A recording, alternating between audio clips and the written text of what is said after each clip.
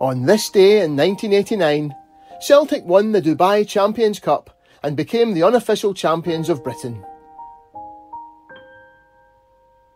The Dubai Champions Cup, originally known as the Dubai Super Cup, was a short lived series of three challenge matches played in Dubai between the champions of Scotland and England from seasons 1986 87 to 1988 89. Celtic played in two of the three matches, facing Liverpool each time, while in the second match, Rangers played Everton. Celtic came into the match after the crushing disappointment of losing at home to Rangers for the first time in nine years, a result that effectively handed the title to the Ibrox club.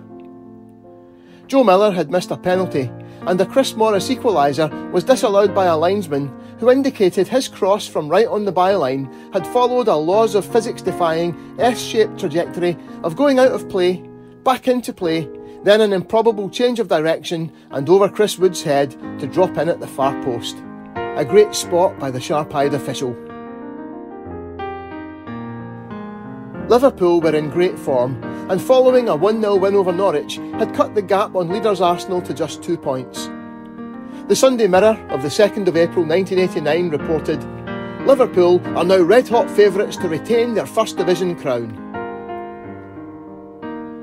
Alec Johnson reported in the Daily Record of the 4th of April Celtic are determined to do what seems beyond all English clubs, beating the unstoppable men of Liverpool. When these two meet for the Champions Cup in Dubai's Al Nassr Stadium tonight, it will be a matter of pride as far as Billy McNeill's side are concerned and Liverpool, unbeaten in 15 games, don't scare the Celts. As interest in the match reached fever pitch, Parkhead midfield star Paul McStay declared, Liverpool have that name about them and we really want to beat them. It would be a great result after the bitter disappointment of losing to Rangers on Saturday. Johnson went on to write, Liverpool's skipper Ronnie Whelan insists they will meet the Celtic challenge head on. We don't want to see Celtic going back as champions of Great Britain, he said. We are going out to win this, and the manager wouldn't let us take it any other way. An injury hit Celtic, minus Roy Aitken and Tommy Burns, lined up in front of just 15,000 fans. Bonner, Morris, Rogan, McCahill, McCarthy, Grant, Miller, McStay, Coyne, McGhee, Fulton. Subs, Andrews, Walker, Stark, Bailey. The match was played in a very competitive spirit. Alec Johnson writing in the Daily Record of the 5th of April Anyone who thought these two giants might back away from a full scale showdown couldn't have been more wrong. In that furious first half, it was the determined Celts, minus injured Roy Aitken and Tommy Burns, who really got the upper hand. Celtic took an early lead on 12 minutes through captain for the night Mark McGhee. The Glasgow Herald of the 5th of April 1989 reported, Not so efficient was the Liverpool defence. They were caught out early when a massive clearance from Bonner bounced over the head of Gary Gillespie and McGhee found himself with acres of space. It was the type of chance which crops up on the training ground and McGhee treated it as such, almost with contempt, as he strode on to send a low drive past Grobbelaar. Four minutes later, Tommy Coyne missed a good chance when he tried to lob the ball over Grobbelaar from close in, but got too much on it and hit it high over the bar. Celtic could easily have been three ahead by half time, the Glasgow Herald reporting. Tommy Coyne then missed a marvellous chance, and when the former Dundee striker then was pulled down blatantly by the goalkeeper, the referee refused to give a penalty. Liverpool changed things around at half time and dominated the second half.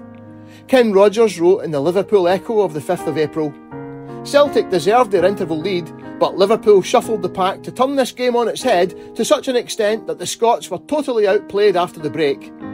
Ablett came off, Nicol switched into the heart of the defence, and Barnes reverted to his normal wide midfield role, with Aldridge launched into the fray from the bench. Despite the pressure, Celtic held firm. The Glasgow Herald reported, That is when the Celtic defence, so often maligned, showed their worth. Time and again, Mick McCarthy and young Steve McCahill mopped up the danger as Liverpool powered forward, and when they were beaten, goalkeeper Pat Bonner was a magnificent last line. After making brilliant saves from Steve McMahon and Peter Beardsley, Bonner was finally beaten with 17 minutes remaining.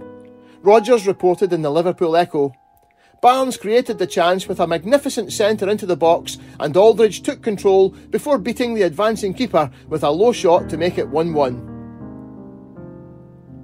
The match went straight to a penalty shootout at the end of 90 minutes, and Mick McCarthy, who had had a brilliant match, missed the first kick for Celtic.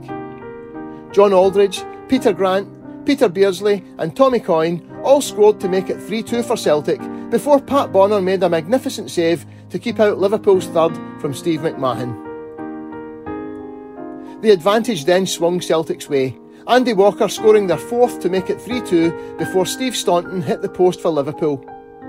Billy Stark then kept his nerve to slam his spot kick well away to Grobbelaar's left, giving Celtic an unassailable 4 2 lead. Reds suffer from shakes as Scots win Battle of Britain, read the headline in the Liverpool Echo. And it was Mark McGhee who picked up the impressive gold trophy to go with the unofficial title of Champions of Great Britain.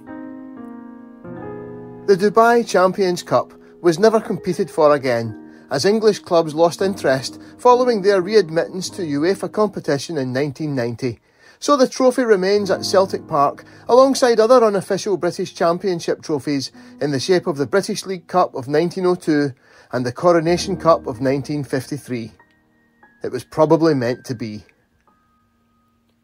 Liverpool met with the unspeakable tragedy at Hillsborough Stadium 11 days later, and they lost the league in the final moments to Arsenal at Anfield, which didn't by then seem quite so important.